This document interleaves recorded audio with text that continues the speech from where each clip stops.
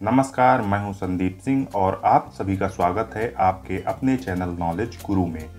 दोस्तों, जैसा कि आप सभी लोग जानते हैं कि हमारे प्यारे हिंदुस्तान को त्योहारों का देश भी कहा जाता है, क्योंकि हमारे यहाँ दिनों की संख्या तो तीन सौ पैंसठ ही है, लेकिन मनाए जाने वाले त्योहारों की संख्या दिनों की संख्या से भी कहीं ज़्यादा है। और ऐसा इसलिए क्योंकि हमारे प्यारे हिंदुस्तान में अलग अलग मत, संप्रदाय और धर्मों के लोग रहते हैं। जिनके अपने अलग अलग कल्चर और मान्यताएँ हैं और सभी संप्रदाय अपनी अपनी मान्यताओं के अनुसार अपने फेस्टिवल्स मनाने के लिए पूरी तरह से स्वतंत्र हैं। इसीलिए हमारे प्यारे देश के अलग अलग हिस्सों में हर वक्त कोई ना कोई त्यौहार मनाया ही जाता रहता है और इन्हीं प्यारे फेस्टिवल्स में से एक बड़ा ही सुंदर और प्राचीन फेस्टिवल है भगवान जगन्नाथ की रथ यात्रा जो कि हिंदुस्तान के उड़ीसा राज्य में प्रमुख रूप से मनाई जाती है। हालाँकि अब भगवान जगन्नाथ रथ यात्रा देश के सिर्फ़ एक राज्य तक ही सीमित नहीं रही है, बल्कि देश के अन्य राज्यों के साथ साथ विश्व के अन्य देशों के लोग भी इसे बड़े ही धूमधाम से मनाने लगे हैं। और अब हिंदुस्तान का यह त्यौहार अंतर्राष्ट्रीय त्यौहार बन चुका है, जिसे पूरे विश्व भर में मनाया जाने लगा है। और इस वीडियो में हम भगवान जगन्नाथ की इस रथ यात्रा के संपूर्ण इतिहास और मान्यताओं के बारे में ही आपको बताने वाले हैं। वीडियो में आगे बढ़ें, उससे पहले आपसे एक छोटी सी रिक्वेस्ट। अगर आप चैनल पर फ़र्स्ट टाइम वीडियो देख रहे हैं या अब तक चैनल को सब्सक्राइब नहीं किया है तो चैनल को सब्सक्राइब ज़रूर कर लें। चलिए, सबसे पहले बात करते हैं रथ यात्रा की शुरुआत कब से हुई? दोस्तों, जगन्नाथ जी की रथ यात्रा की शुरुआत का इतिहास काफ़ी प्राचीन है। इसका वर्णन हमें पुराणों में भी देखने को मिलता है। वैसे तो इतिहासकार इसका सही सही स्टार्टिंग टाइम बताने में असमर्थ हैं, फिर भी वर्तमान के इतिहासकारों के अनुसार रथ यात्रा की परंपरा की शुरुआत 12वीं सदी में हुई थी, जब प्रभु जगन्नाथ के मंदिर का निर्माण राजा इंद्रदुम्न ने करवाया था, तब से इसकी शुरुआत मानी जाती है और इंद्रदुम्न द्वारा मंदिर के निर्माण के बाद ही रथ यात्रा की शुरुआत भी कर दी थी, जो आज भी निरंतर चलती आ रही है। और हर वर्ष अषाढ़ मास में इसे निकाला जाता है। ये तो थी शुरुआत इतिहासकारों के आधार पर, लेकिन प्रभु जगन्नाथ जी की रथ यात्रा का वर्णन इससे पूर्व भी अनेक पुराणों में देखने को मिलता है, जैसे कि स्कंद पुराण। स्कंद पुराण में उर्द्वाम नाय तंत्र और पूरी महात्म खंडों में प्रभु जगन्नाथ रथ यात्रा का विस्तृत वर्णन देखने को मिलता है। पुराण के इन खंडों में जगन्नाथ जी की लीला यात्रा के महत्व और यात्रा को कैसे संपन्न करना है, इसका भी विस्तार से उल्लेख किया गया है। इसके बाद ब्रह्म पुराण में भी प्रभु जगन्नाथ और उनकी यात्रा का उल्लेख मिलता है। इसमें पुरी के मंदिर, प्रभु जगन्नाथ की मूर्तियों और रथ यात्रा की महत्व का वर्णन किया गया है। इसके बाद नारद पुराण और पद्म पुराण में भी प्रभु जगन्नाथ के विभिन्न उत्सवों और विशेष रूप से रथ यात्रा का उल्लेख किया गया है। साथ ही प्रभु जगन्नाथ जी का गुणगान और रथ यात्रा की पवित्रता और महत्व को भी विशेष रूप से इसमें बताया गया है। अब तो आप सभी को पता चल ही गया होगा कि ये यात्रा कितनी प्राचीन और कितनी महत्वपूर्ण है। चलिए अब आपको बताते हैं ये यात्रा हर वर्ष निकाली क्यों जाती है? इसके पीछे का कारण क्या है? लॉजिक क्या है? एंड आई एम श्योर कि आप में से ज़्यादातर लोगों को ये तो पता है कि ये यात्रा हर वर्ष निकाली जाती है। लेकिन क्यों निकाली जाती है? इसके पीछे का रीजन क्या है, इसकी जानकारी बहुत कुछ गिने चुने लोगों को ही होगी। तो चलिए रूबरू करवाते हैं आपको यात्रा के इस पक्ष से भी। तो इसके भी कई कारण है दोस्तों। उनमें से पहला कारण है दर्शन। वैसे तो जगन्नाथ प्रभु वर्ष में 11 माह से भी अधिक का समय अपने मंदिर में गुजारते हैं, जहाँ पर विश्व भर से आने वाले ज़्यादातर भक्त उनका दर्शन करके कृपा प्राप्त कर ही लेते हैं। लेकिन कुछ ऐसे भी भक्त हैं जो मंदिर जाकर दर्शन प्राप्त करने में समर्थ नहीं हैं और ऐसे भक्तों को ही दर्शन देने के लिए भगवान नगर की रथ यात्रा में निकलते हैं और अपने सभी भक्तों को दर्शन और कृपा का अवसर देते हैं। इतने दयालु हैं भगवान जगन्नाथ कि जो भी भक्त मंदिर जाकर उनके दर्शन प्राप्त नहीं कर सकते, भगवान उन्हें स्वयं ही दर्शन देने के लिए मंदिर से बाहर आ जाते हैं। दूसरा कारण है समानता।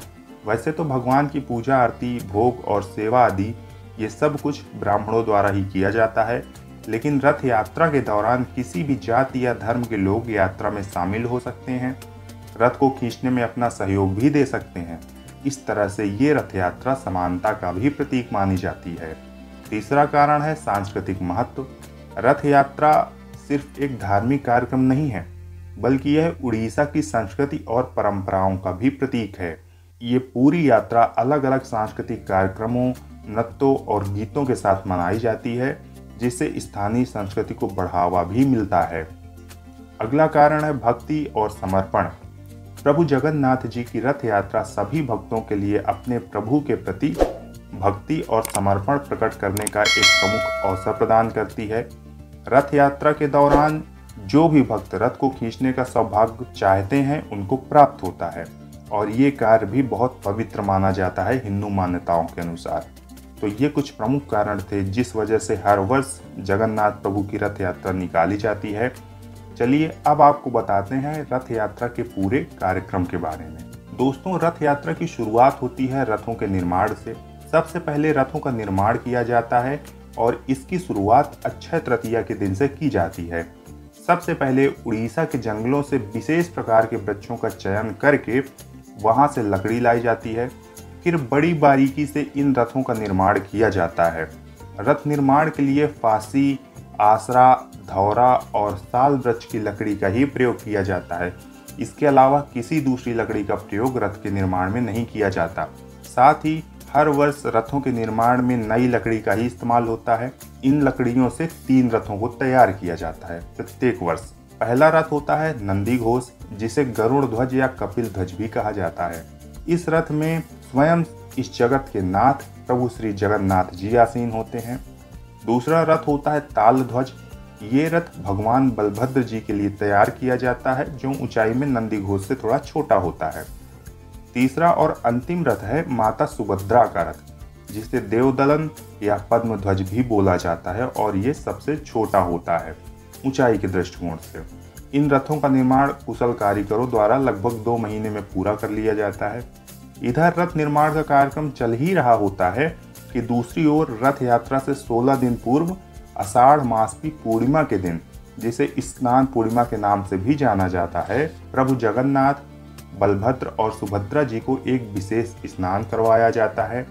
इस दिन तीनों देवताओं को मंदिर के स्नान मंडप में ले जाया जाता है और वहाँ उन्हें 108 घड़ों के पवित्र जल से स्नान करवाया जाता है। इस विशाल और ठंडे जल के स्नान के बाद ऐसी मान्यता है कि भगवान बीमार पड़ जाते हैं। इसे देव स्नान पूर्णिमा भी कहा जाता है और इस स्नान के बाद प्रभु को पंद्रह दिनों के लिए सार्वजनिक दर्शन से दूर रखा जाता है और इस परंपरा को अनसर या अनवासर की परंपरा भी कहा जाता है। इसके पश्चात पंद्रह दिनों की इस अवधि के दौरान प्रभु जगन्नाथ, बलभद्र और माता सुभद्रा को मंदिर के अंदर ही विशेष कक्ष जिसे अनुवासर घर भी कहा जाता है, वहाँ पर ले जाकर उनकी उचित देखभाल की जाती है और उन्हें विशेष हर्बल औषधियों से उपचारित भी किया जाता है, उनकी बीमारी को दूर भी किया जाता है। इस पंद्रह दिनों की अवधि में भक्तों को प्रभु के दर्शन नहीं हो पाते हैं, ऐसा माना जाता है कि भगवान इस समय आराम करते हैं और अपनी बीमारी से उभरते हैं। इसके बाद अनवासर की अवधि जैसे ही समाप्त होती है तो प्रभु के पुनः दर्शन होते हैं, जिसे नव यौवन दर्शन भी कहा जाता है। यह दर्शन रथ यात्रा से एक दिन पहले होते हैं और इसके बाद भगवान रथ यात्रा के लिए तैयार हो जाते हैं। और चलिए अब आपको बताते हैं पूरी रथ यात्रा की जर्नी के बारे में। हर साल आषाढ़ मास के शुक्ल पक्ष की द्वितीया को यह रथ यात्रा श्री जगन्नाथ मंदिर से आरंभ होती है। इस दौरान सभी देश विदेश से आए भक्त ही रथ को खींचते हैं, जिसे बड़ा पवित्र कार्य माना जाता है हिंदू धर्म में। दिन भर की यात्रा के बाद शाम ढलते ढलते प्रभु का रथ गुंडीचा मंदिर पहुँच जाता है, जिसे प्रभु जगन्नाथ की मौसी का घर भी माना जाता है, जो कि श्री जगन्नाथ मंदिर से करीब तीन किलोमीटर दूर स्थित है। और यहाँ पहुंचकर प्रभु जगन्नाथ, भाई बलभद्र और बहन सुभद्रा जी के साथ नौ दिनों तक विश्राम और आनंद करते हैं अपनी मौसी के घर पर। इस दौरान प्रभु की विशेष पूजा अर्चना और अनुष्ठान किए जाते हैं और इस अवधि को गुंडीचा रथ यात्रा भी कहा जाता है। नौ दिनों के प्रवास के बाद अषाढ़ शुक्ल की दसवीं को प्रभु जगन्नाथ भाई बलभद्र और बहन सुभद्रा जी के साथ वापस श्री जगन्नाथ मंदिर लौटते हैं। इस वापसी यात्रा को बहुदा यात्रा कहा जाता है। वापसी यात्रा के अगले दिन प्रभु को स्वर्ण आभूषणों से सजाया जाता है। अच्छे तरीके से। और तीसरे दिन प्रभु जगन्नाथ, बलभद्र और माता सुभद्रा को वापस अपनी मूल जगह में, जगन्नाथ मंदिर में स्थापित कर दिया जाता है। और इस प्रक्रिया को नीलाद्रि विजय कहा जाता है। और इसी स्थापना के साथ ही इस रथ यात्रा की समाप्ति हो जाती है, जिसे न सिर्फ़ हमारे प्यारे हिंदुस्तान, बल्कि संपूर्ण विश्व में बड़े ही धूमधाम और हर्षोल्लास के साथ मनाया जाता है। तो ये थी प्रभु जगन्नाथ रथ यात्रा की संपूर्ण जानकारी। आपको ये वीडियो कैसा लगा? अगर वीडियो पसंद आया हो तो इसे लाइक और चैनल को सब्सक्राइब ज़रूर करें। साथ ही कोई प्रश्न या सुझाव हो तो कमेंट सेक्शन आपके लिए खुला है। मिलते हैं आपसे नेक्स्ट इंटरेस्टिंग वीडियो में। तब तक आप अपना और अपनों का बहुत सारा ख्याल रखिए और बोलिए जय जगन्नाथ। नमस्कार, जय हिंद।